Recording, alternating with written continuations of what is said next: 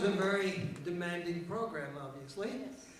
Let me ask you, you won the Stecher and Horowitz, the New York piano competition. Before that, you won the Hilton Head Young Artist. You won the uh, Cooper at Oberlin.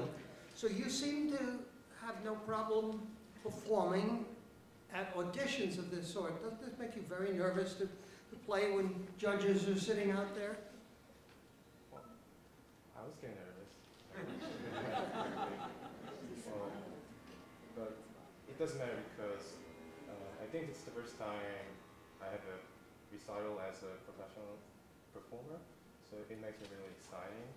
You mean to, today, really? Uh, well, I got a lot of concert as a like competitor or kind of that, but this is, I think, yeah, this is the first time.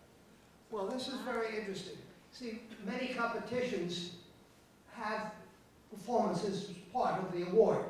You get, you may get a cash prize, but you also get a performance here or there, or whatever it is with the organization. Hilton Head, for instance, probably will bring me back for a recital in one of the churches there, or whatever.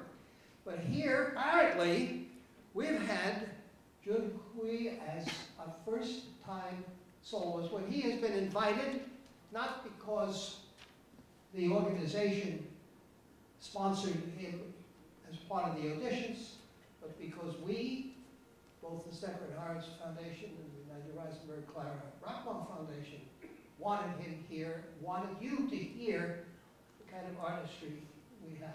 So, Jodie, tell us how you see your career developing. What would you, what would you like to do next? What would you like to, you want to play concertos? Do you want to teach? What do you want to do?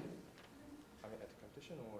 No, not as a competition. Forget the competition. Now we've just established, you don't have to worry about those now. But what else would you like to do? What sort of repertoire would you like to explore? Hmm. All, all of repertories I wanna, I have to learn and I wanna listen to. So, well, the, the several recital is still, well, still to do. I have to do well, and uh, next this recital, there will be a four recital that I have to do. Uh-huh. So I have to study a lot of solo pieces again, and after that, um, I'd like to learn the concerto. All right, well, we'll wait for the concerto to another occasion, but perhaps you will have an encore for us today. What would you like to play? Um, I like to play Tchaikovsky Visions in October. Ah, we're going to have, a few days late for October, but uh, nonetheless, one of the great pieces from the seasons this week by Tchaikovsky. Thanks again, and if you will.